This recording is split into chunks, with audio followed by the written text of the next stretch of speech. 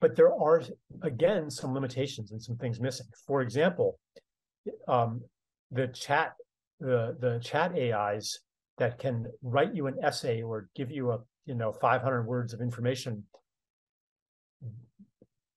they have biases built into them uh, a lot of them will will you know like somebody had to decide what information they are going to survey in order to to to deliver their product.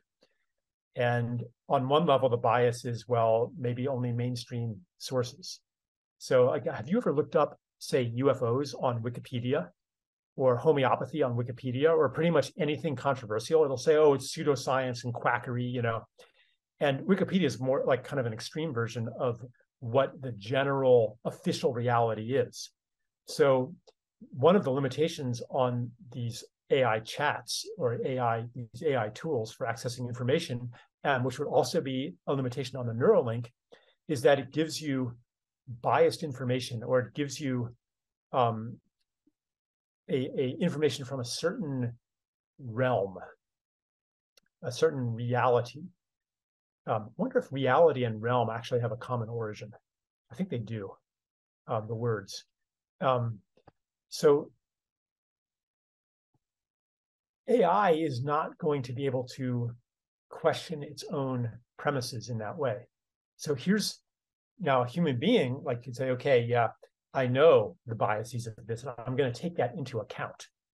So here's a aspect of our intellectual sovereignty that um, we can hold and not surrender to the AI. So that's one level of bias, you know, like official information and dissident information. Like, what if you ask the chat GPT about, you know, vaccine safety or something like that? What is it going to say?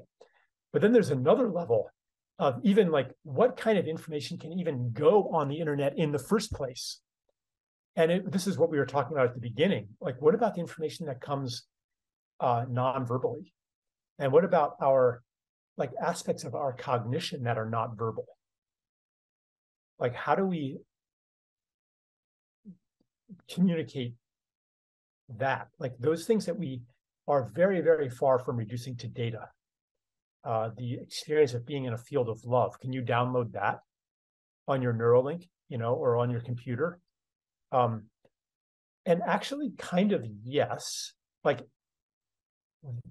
like a book you know to take an earlier technology can carry a vibration of love.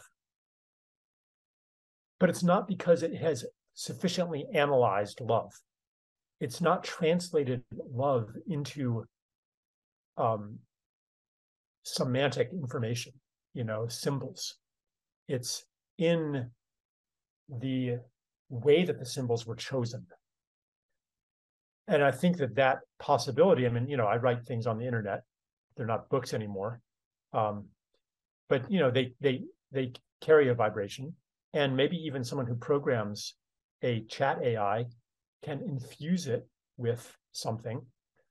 So I don't want to like say that these tools have no possibility of carrying something else on their vehicle that is beyond the analytic content.